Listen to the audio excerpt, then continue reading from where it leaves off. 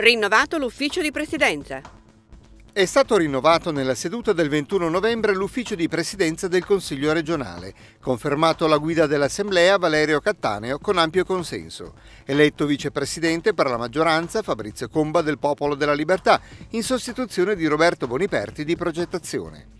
Confermati il vicepresidente di minoranza Roberto Placido del Partito Democratico e i consiglieri segretari Lorenzo Leardi, Popolo della Libertà, Gianfranco Novero, Lega Nord e Tullio Ponso, Italia dei Valori. Seduta del 20 novembre.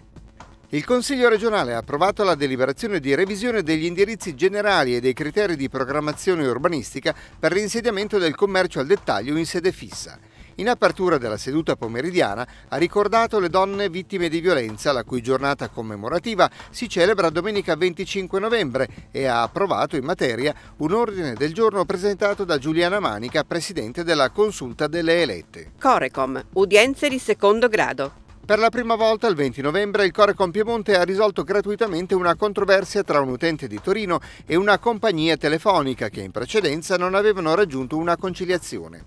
Il gestore ha stornato gli importi delle fatture contestate e pagato 100 euro di indennizzo. Con le nuove deleghe ricevute dalla GCOM, il Corecom può infatti definire le controversie in seconda istanza ed evitare alle parti il ricorso al Tribunale o all'Autority. Convegno benessere equo sostenibile. Palazzo Lascaris ha ospitato il convegno di presentazione del progetto BES, Benessere Equo e Sostenibile, la ricerca, realizzata a livello nazionale con un anno di lavoro da CNEL, Istat e per il Piemonte dalla Consulta Femminile, si inserisce nel dibattito internazionale sul superamento del PIL. Il progetto è basato sulla convinzione che i parametri con cui valutare il benessere della società non debbano essere solo di carattere economico, ma anche sociale e ambientale. Tutela del patrimonio artistico. Firmato a Palazzo Lascaris il protocollo di intesa per il restauro di opere d'arte presenti in Piemonte tra la direzione regionale del Ministero dei Beni Culturali, direttore Mario Turetta, e il Consiglio regionale, presidente Valerio Cattaneo. L'intesa prevede per il primo anno il restauro di due dipinti settecenteschi di Palazzo Reale e l'affidamento in comodato d'uso al Consiglio regionale di due opere che saranno collocate negli uffici di rappresentanza di Palazzo Lascaris. SOS Animali in pericolo.